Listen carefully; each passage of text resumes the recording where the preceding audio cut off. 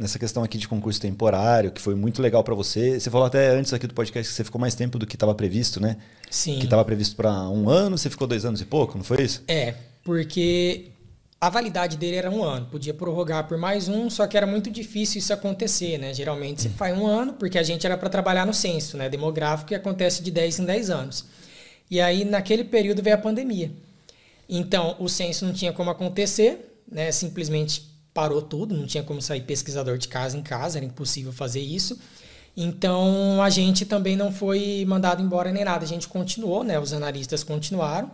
Então, nosso contrato foi prorrogado. Então, aquele concurso que, a princípio, ia tá, eu ia estar tá ganhando um, um, bom salário ali durante um ano, acabou que eu fiquei praticamente dois. Ah, legal. Né?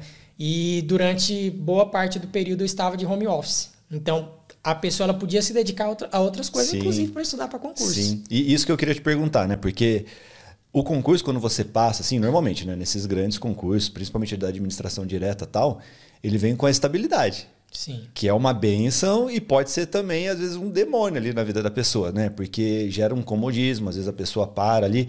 Você não acha que essa questão de você entrar no concurso, que era muito legal, que era bom, mas que ao mesmo tempo você sabia que tinha um prazo de validade ali que ia terminar, não fez você se movimentar, às vezes estudar.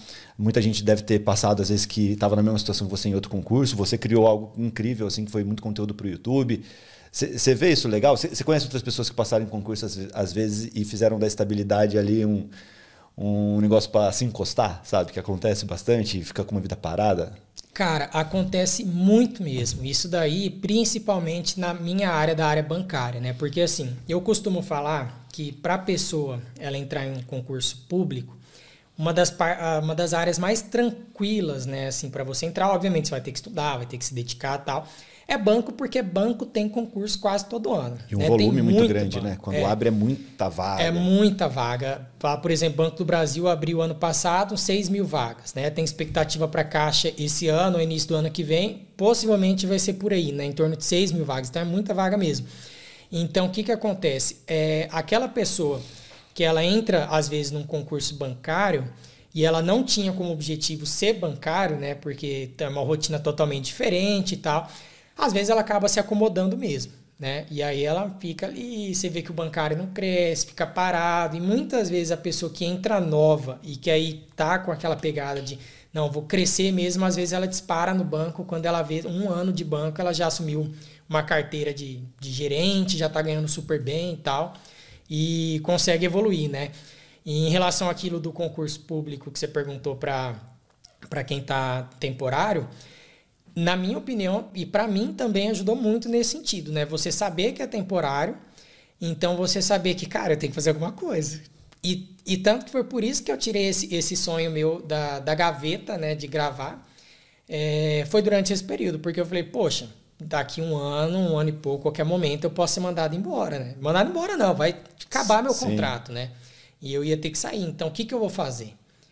Aí eu, como economista, beleza, podia até ter mestrado. Você vai procurar emprego aí, tá foda. É, é desesperador, né, cara? É, aí eu encontrava assim, pô, tu vai trabalhar oito horas ali por dia, vai ralar pra caramba, né? Como todo trabalho, você rala pra caramba aí, dependendo da área que você tá, para ganhar dois mil reais, assim, um mestrado. Eu falei, não, não tem condição. Né? Então eu peguei e falei, eu preciso fazer alguma coisa. Aí eu comecei a gravar as aulas e, lançar lá, né? Então eu acho que isso daí, a pessoa ela conseguindo um concurso temporário, pelo menos para ela se manter, né? Que muitas vezes a pessoa precisa trabalhar, né? Não é todo mundo que Sim, pode só ficar certeza. em casa estudando, né? A maioria não pode. A maioria né, não pode, Sim. exatamente.